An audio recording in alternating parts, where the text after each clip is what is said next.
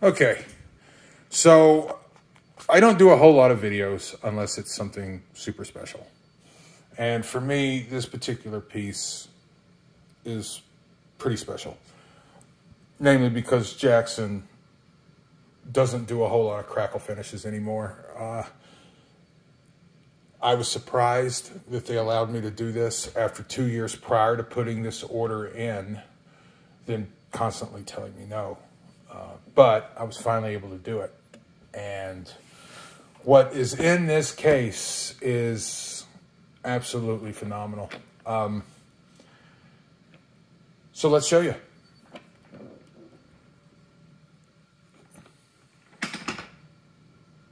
There we go. So what we have here is a Jackson Custom Shop RR24. Um, how I go about specing guitars for the shop, I spec them out as if I was going to spec out a guitar. I found that that works better than assuming what people want. Um, this particular piece has a mahogany body with a maple neck. It's got a blank ebony fretboard with stainless steel frets. Uh, Floyd Rose. Uh, we've got uh, over here at the headstock, we've got locking uh, locking tuners, um, and we also have strap locks. Um, we got a single volume, half inch back out of the way for you chuggers and solo guys. Um, mini kill switch. Uh, we also have a bare knuckle aftermath in the battle worn uh, cover. I didn't order it that way, but fuck, the guys at Jackson were like, uh, "What cover do we put on it?" And they just assumed.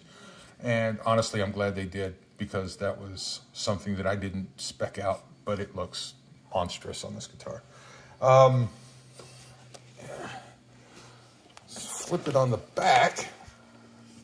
And as you can see, it's matching all around. So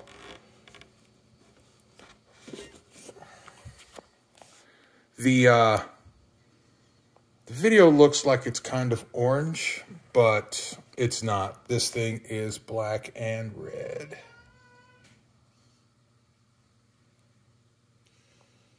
So this will be going up for sale soon if I decide to sell it. Uh, price on this piece is going to be 6000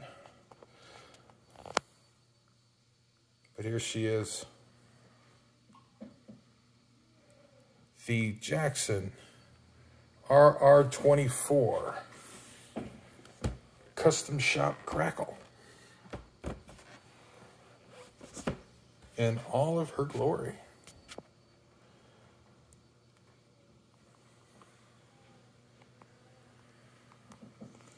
Got the uh, certificate of authenticity here. So yeah, expect to uh, expect to see this on the website too uh, soon. Uh, ChondroGuitars.com.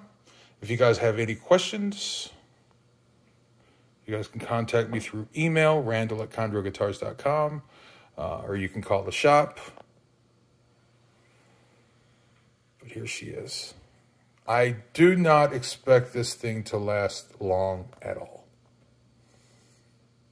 Thanks for watching, guys.